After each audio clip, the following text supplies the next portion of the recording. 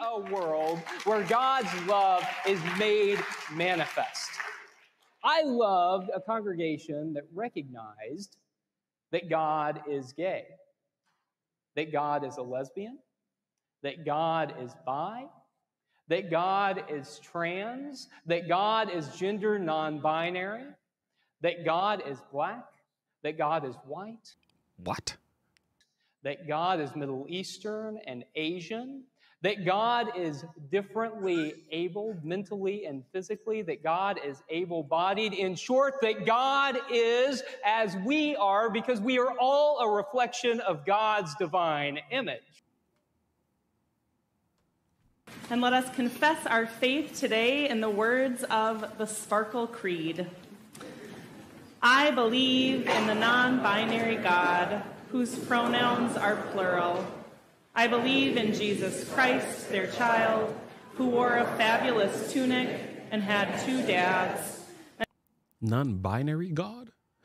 what is going on?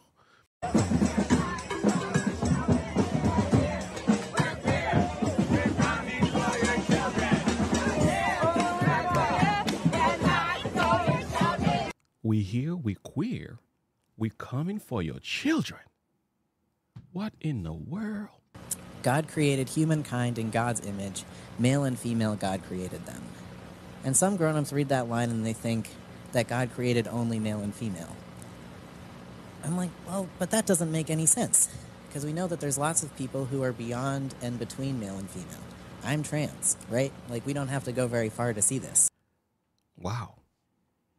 What kind of biblical exegesis was this?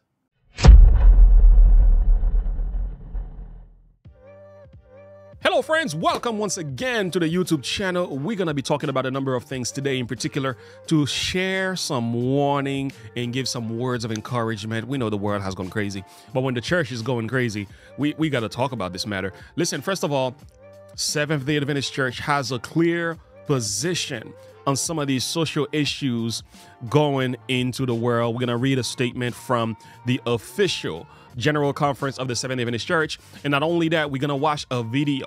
Let me share my screen with you. So we're going to go to the uh, official Adventist.org website and hear their statements on homosexuality. And we will also highlight HRC, the Human Rights Campaign, where they are probably the largest, one of the largest voices for LGBTQIA plus persons, and you won't believe what they have to say about the Seventh Day Adventist Church. And also, we have a video of Ted Wilson, which was released just about two or three months ago, where he spoke about the church's position concerning these issues. We're gonna get into this video right now. Make sure you like and subscribe to the page. Click the bell icon for more. All these things matter in the YouTube world. Every thumbs up matter, and every time you give this video a thumbs up, it travels faster and other people gets to see what we got going on in this channel and check out what else we got going on in this channel as well we do talk about the cultural issue we do talk about the gospel we do talk about jesus we do lift him up, but we are not afraid to call it what it is and expose the hypocrisy that might be happening in the world and as well as in the church, especially knowing that we are living in the final days. All right, let's get to the video, friends.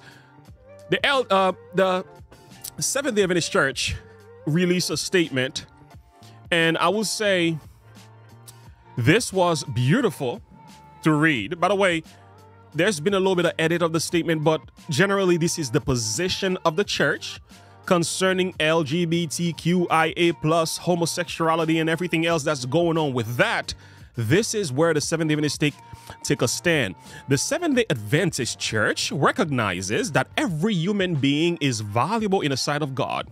Amen. And we seek to minister to all men and women in the spirit of Jesus. We also believe that by grace and through the encouragement of the community of faith, an individual may live in harmony with the principle of God's words. Ooh, that's, that's beautiful. That's beautiful. Let's keep going. Seventh day Adventists believe that sexual intimacy belongs only within the marital relationship of a man and a woman. Hey, we preaching now.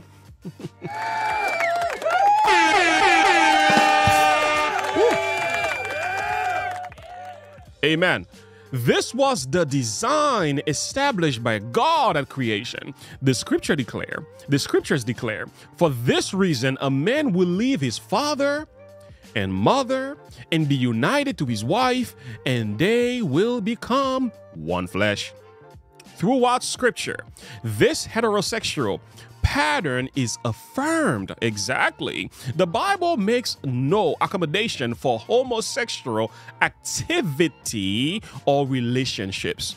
Let me read that again. The Bible makes no accommodation for homosexual activity or relationships. Sexual acts outside the circle of a heterosexual marriage are forbidden. And here are your scriptures to work with. Jesus reaffirmed the divine creation intent. Have you read? Haven't you read? He replied that at the beginning of the creation, God made them male and female. In the video that we watched earlier, they were saying there is an in between. They were saying that God didn't mean it that way. I'm like, no, no, no, no. yes, he did. Let's read on. And he said, For this reason, a man will leave his father and mother um, and be united to his wife, and they two will become what? One flesh, so that they are no longer two, but one. For these reasons, Seventh day Adventists are opposed to homosexual practices in relationships. Hey!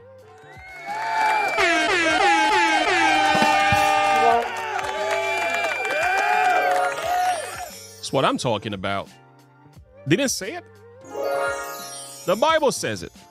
So this is the statement. Jesus affirms the dignity of all human beings and reach out compassionately to persons and families and suffering families suffering the consequences of sin. Exactly. He offers caring ministry and words of solace to struggling people. Yes. While differentiating his love for sinners from his clear teachings about sinful practices as his disciples. Good. Seventh day Adventists endeavor to follow the Lord's instruction and examples, living a life of Christ like compassion and faithfulness.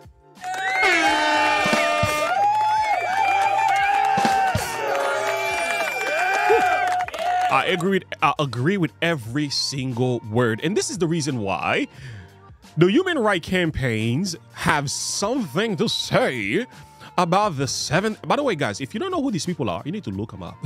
As a matter of fact, this is like the foundation, one of the largest voices for homosexuality, transgenderism, LGBTQIA plus, and how it has impacted the entire society. They're going into business, they're going into politics, they are advocating, there are lobbyists, they are going deep looking to convert the world, bring them into LGBTQIA plus indoctrination.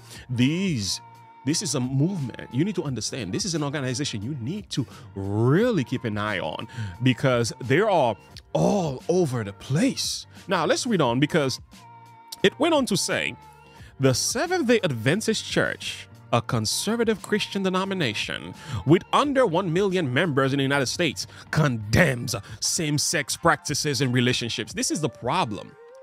We're not condemning anything, we're just telling you what the Bible says. But again, this is the thing with wording. This is the thing with wording. When you read something like that, while they may not be coming at the Adventist church in a way that you think, but the people who are gay, homosexuals, pro LGBT, the people who advocate for that group, those group of people, they will look at this and say, oh, these Adventists, y'all a bunch of evil, unchristian, unloving, and uncompassionate people because y'all condemn same sex. You see, that's the problem right there.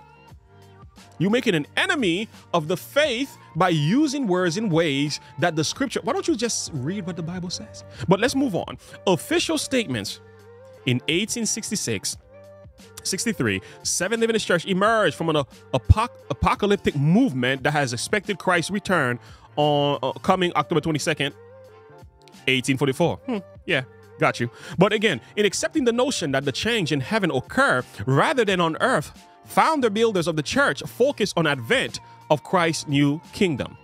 Well, that's also biblical, so what's the point? And today, the church is anchored in the 20th fundamental belief okay, which include the infallible and fallibility of the scripture and focus on honoring God's creation. All right, now.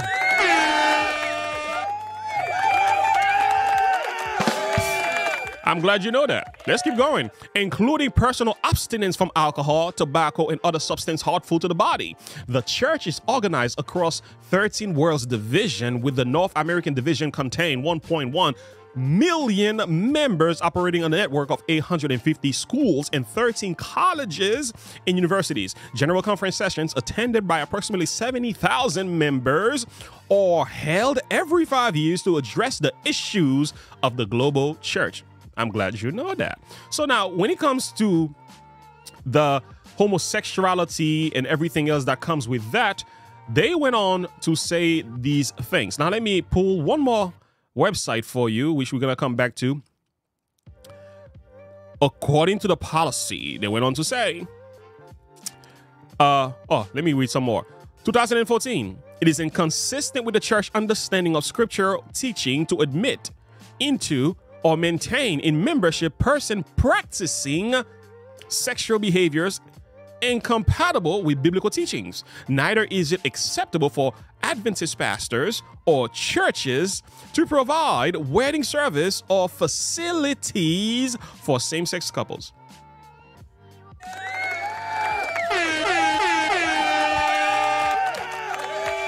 There, there, there, there's nothing wrong with that. this is biblical. Now, according to church policy, homosexuality is a manifestation of the church of the disturbance and brokenness in human inclinations and relations caused by the entrance of sin into the world. Okay. However, President Ted Wilson made a recent call for compassion, saying Christ was never rude, never needlessly spoken a severe word, never gave needless pain to a sensitive soul. Amen. The church also, determined that we do not condone singling out any group for scorn and derision. Yes.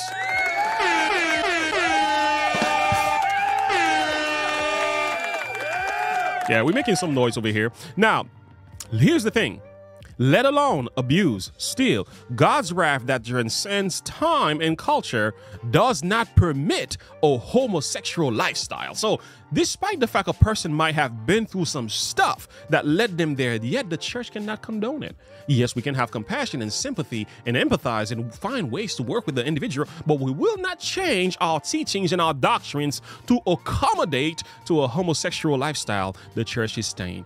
I don't think there's anything wrong with that. Now, they went on to say a number of things again and again and talking. I think it's not they didn't really say too many bad things apart from highlighting it. So the goal is if we just highlight what the Seventh Adventist Church believe, people who will see this will automatically have an issue with the Adventist Church because what? They're condemning homosexuality. Well, the Bible condemns sin in every form. It's not just homosexuality. We're not highlighting you to be a scorn and derision. We're not telling you turn or burn kind of thing. Yeah, if you don't turn, you will burn. But we would like to appeal with the love of Jesus first. And if you refuse to obey and listen, it's up to you. God is the judge, but we will not change our teachings and our doctrine in order to com- accommodate to a sinful lifestyle. Here is Ted Wilson. Here is Ted Wilson. I'm done rumbling. Here is Ted Wilson because this is what he said. Uh, he's the president of the General Conference in a meeting of uh, on, on, April 10th, 2023. So this is fresh and recent news, and he's talking about um, human sexuality task force in the church. And this is significant because I shared you some videos in the beginning of the video uh, uh, uh, of my of this video here is to show you what's going on in other churches. And the point is, we need to be aware of how this thing is spreading like cancer in many denominations, and how the denominations are capitulating and surrendering to the mob. And friends, we cannot do that. Let the pressure come, let the persecution come, let, let the haters come, but we must not change our position when it comes to sexuality based on scripture. We better not. So I love what Mr. Ted Wilson says. Uh, we're going to talk to you about a very serious item for a few moments. Um, not going to spend a lot of time, and we're not even going to open it for discussion. Uh, but we want to inform you about what's happening. Maurice uh, Valentine, if you will just come up here to the pulpit for a moment. Several weeks ago, we organized a new committee. Uh, actually, it's a task force. You might say, well, that's nothing unusual for the General Conference. You're always organizing committees. This one, as with most of the committees, uh, was done for a specific purpose. We organized what is called Human Sexuality Task Force. This particular task force has as its objective to draw on all of the resources, the materials that the church has from the Bible, from Biblical Research Institute, from voted statements, from other sources, to help our church members and especially our younger church members, to understand what the Bible has to say about human sexuality. We are facing a huge onslaught of aggressive conditioning of people's minds from social media, from culture, regarding LGBT and other aspects. We need to treat all people with respect, with love, with care. But, my dear brothers and sisters, and those of you who are part of the General Conference Division and Attached Union Officer Group, you will know that we spent uh, about an hour together one week ago today in a special meeting to vote, or not to vote, but to, by common consent, a consensus statement regarding the human sexuality aspect and what the Bible teaches. You know, we vote different things, and those things are important. But what the Bible has to say is the most important. And uh, recently, as we reviewed this, we recognized we need to be much more proactive in helping our world church and especially young people who are so influenced by social media, by connection to the internet, to understand what the Bible says also, I would like to just share with you, because you're going to be hearing much more about this as we move into the next number of months. We need to be careful. And as leaders and as executive committee members, I'm looking at these six screens with names all over them from all around the world.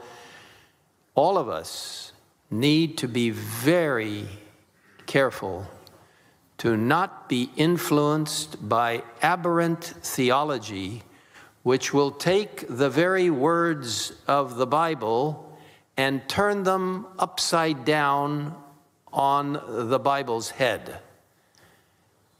Ellen White tells us to read the Bible as it reads, verse upon verse, precept upon precept, line upon line, to understand that the historical critical method which has taken the ascendancy in theological circles for the last many decades is not the biblical method to use.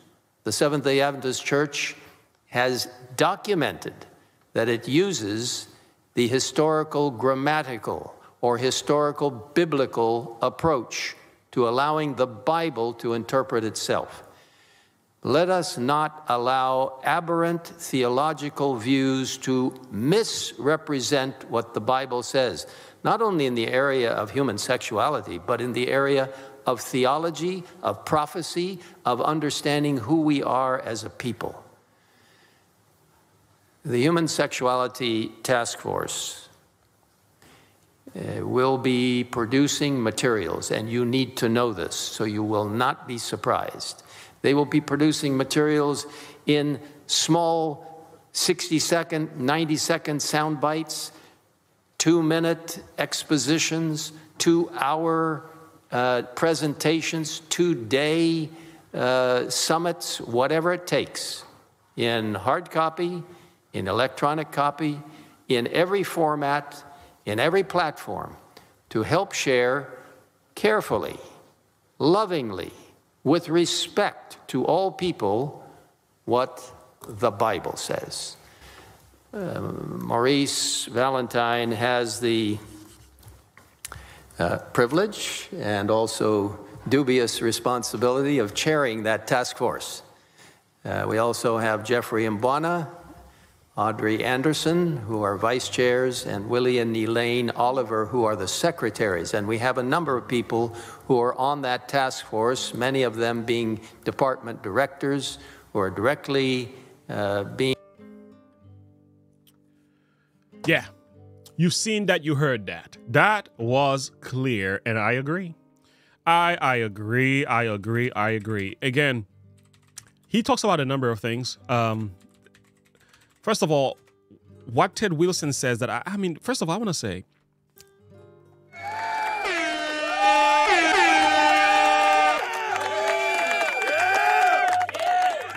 um, many times there are folks online they highlight everything that is wrong in a church all day all night. It's like their entire ministry is to find something wrong with the church so that they can say something about the church. But the point is, and when ministers and, and Ted Wilson and many others tell the truth, right? When they preach the truth, make sure you highlight them too. Make sure you acknowledge the good that is in the church, not just the wrongs. And it's okay to highlight what is wrong so that we can turn and repent. And nothing's wrong with that, but it's just failure to acknowledge both sides of the story is is a major problem. But here's the thing.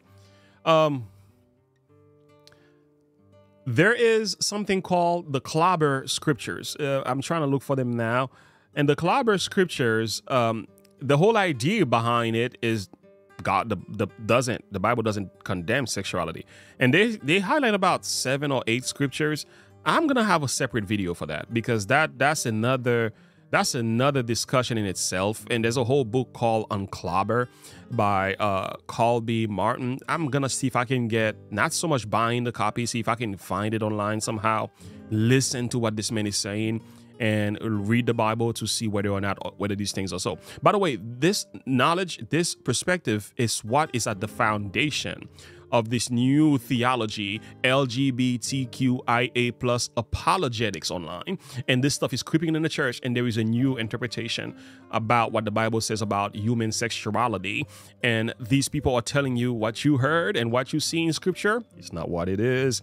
And I'm so glad that Ted Wilson acknowledges that and he has a compassion for the youth and he understands what's going on with the young people, with social media, with the social contagion, with all these different ideas and abuse. And who knows, man?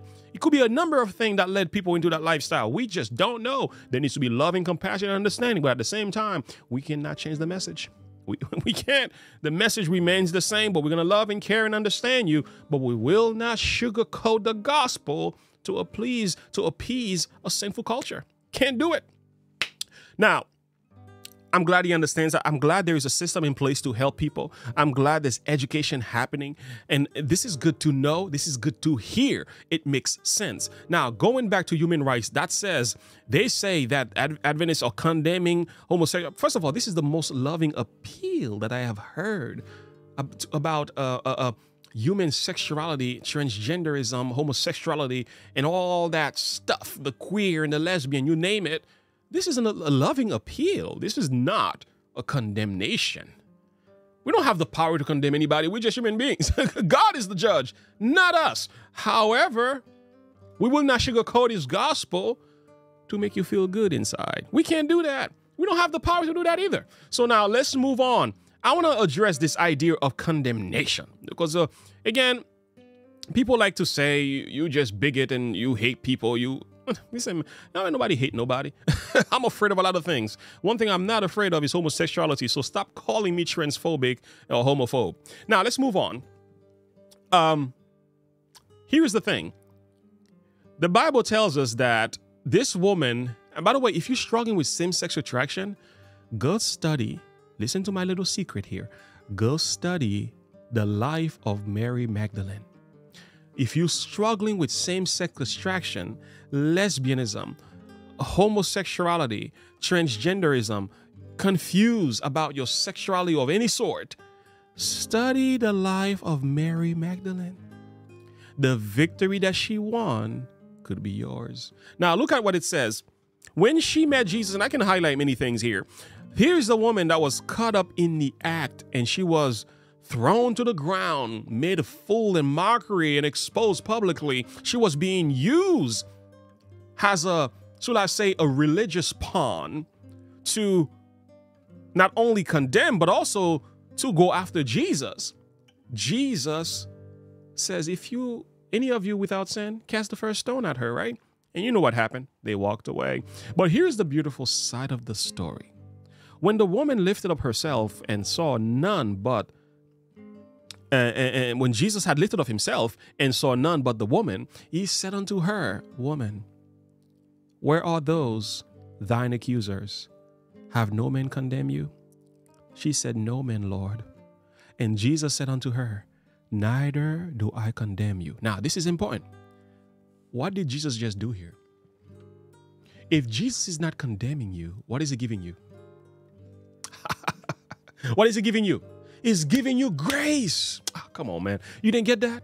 There is, Romans 8, there is no condemnation of those who are in Christ Jesus, who walk not after the flesh, but after the Spirit. There is no condemnation in Jesus because he, uh, he extends his arms of grace and mercy. So he's giving her grace, he's giving her mercy for her sins. And the same is true for you and I. The same is true for the homosexuals today among us. They need grace and mercy from Jesus, not condemnation. And Jesus says, Neither do I condemn you. Unlike many people in the world today, and I would say some Christians are wrong for doing this, they're condemning the gays and the lesbian. It's, it's like hellfire burn kind of thing. I, I get you, man. I understand, bruh. But have some compassion, brother. like, brother, turn off the heat, bro. Turn down the stove, okay? Calm down. But we can still tell the truth without burning the entire building down, man. so slow down. So here's the thing Neither do I condemn you, said Jesus. Here's the next thing go and sin no more. First of all, he did not condemn the woman, he gave her grace and mercy. And after he's done, he sent her on her way with the possibility of victory. Now, people don't believe that today. They don't believe they can get victory over sin. They don't believe a lot of Christians today will tell you, we're gonna sin till Jesus comes. that means you're gonna burn. so you need to stop. And don't get me wrong, friends, we all have our struggles. We all have our struggles and battles. What I say to you, I say to myself. I have to look at myself in the mirror every day and say, Lord, have mercy on me. But I do not live with this mindset that I will never overcome. I might struggle with my sin, but I know by the grace of God, eventually, one of these days, as I'm wrestling and fasting and praying, the chain is gonna break, is gonna break loose. I believe that. Oh, here's the thing. Jesus says, "Go and sin no more." Not go and sin some more. Go and sin no more. So Jesus set her free from her own sexual sins, by the way. Her issue was sexual sin. She was possessed with seven demons. She was using they, them pronouns. Okay, I'm stretching it. But here's the point. You get the point of what I'm trying to say? This woman, she got the victory at the feet of Jesus. Now, even after the statement was made, she was still in trouble. she was still getting herself involved in some stuff. And that's why it's good to study her life because that same woman was there at the resurrection of Jesus Christ. That same woman got the victory over sin. That same woman saw Jesus resurrected first. That same woman went on to preach the gospel to the apostles who were hiding and cowering in fear. This is the same woman Jesus set free. It is the same woman. Now, some people may argue that's not really the case. Well, Okay, okay, that could be another discussion. But when I look at the Bible, what I realized this woman here is the same Mary Magdalene that we find throughout Scripture. Now, if you say that's not it, you want to explain to me, ah, fine, we can have the discussion. But the point of the matter is this Jesus says to her, Go and sin no more. I don't condemn you. The church is not condemning gays and lesbian LGBT. Stop saying that. We're saying the Bible says this about human sexuality and also all these different things about sins. In particular, in general, God addresses all type of sins, but we will not sugarcoat the truth of the gospel because the culture is changing, the church is adapting. Okay, the world is converting the church. No, no, no, no.